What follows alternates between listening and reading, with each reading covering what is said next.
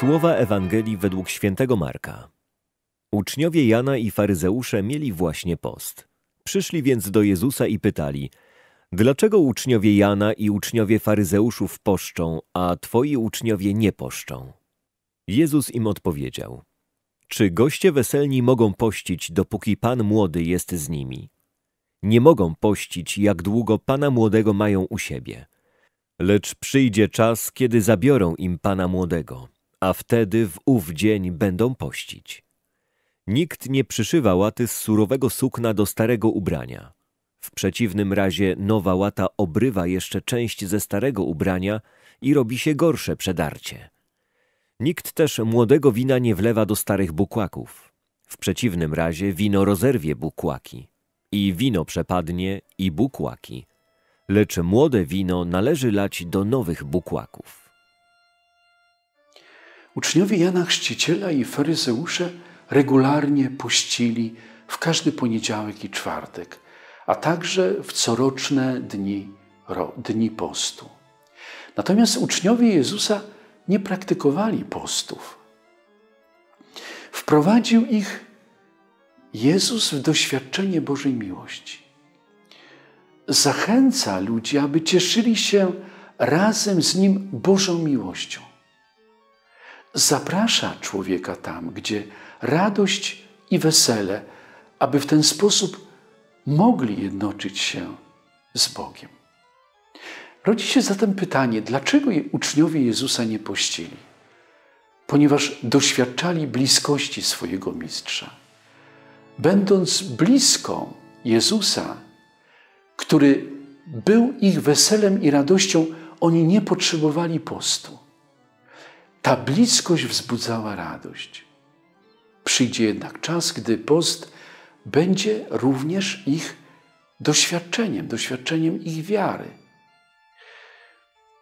Nasze życie chrześcijańskie obejmuje zarówno świętowanie jednoczenia się z Bogiem, jak i poszczenie, będące dla nas znakiem, że często odsuwamy się od Boga, tracimy z Nim jedność a przez to smutek i grzech zamieszkuje w naszych sercach. Kiedy post jest uzasadniony? Wtedy, kiedy człowiek jest daleko od Boga, oddala się od Niego, nie ufa Mu, kiedy jest poddany władzy namiętności, na przykład grzechy nieczyste, na przykład gniew, zazdrość, zawiść, żal wtedy trzeba podejmować post.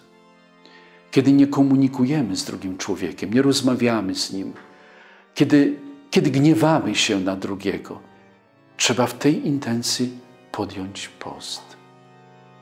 Tęsknota za Bogiem sprawia, że pościmy, ponieważ w taki sposób przygotowujemy umysł, uczucia, wyobraźnię i ciało na spotkanie z Panem. Brak radości duchowej sprowadza nas na drogę postu. Jeśli relacja z Bogiem jest zaniedbana, nie ma w niej życia, wtedy potrzeba postu, aby Bóg mógł nas prowadzić. Zobaczmy, post to jest odzyskiwanie tego, by Bóg był pierwszym w moim życiu, by na nowo stał się moim przewodnikiem. Czym jest nowe wino i czym są bukłaki, o których słyszymy w Ewangelii? To nowa nauka Jezusa. Ona potrzebuje również nowej mentalności, nowego rozumienia życia, nowego tym samym rozumienia Boga. Nauka Chrystusa nie nadaje się do tego, aby wkładać ją w ramy dotychczasowego mojżeszowego nauczania, tego, czego uczyli faryzeusze i uczeni w piśmie. To jest inna duchowość od tej, którą proponują faryzeusze. To nowa nauka, ale też zupełnie nowa mentalność, nowe spojrzenie na człowieka i na jego relacje z Bogiem. Jezus nie lekceważył ani też nie odwoływał żadnego z dotychczasowo, dotychczasowych obowiązujących przykazań. Nie ogląda się jednak z lękiem na każdą literę prawa. W Starym Testamencie najważniejsze były ofiary składane Bogu. A Jezus to zmienia, mówiąc: Chcę raczej miłosierdzia niż ofiary.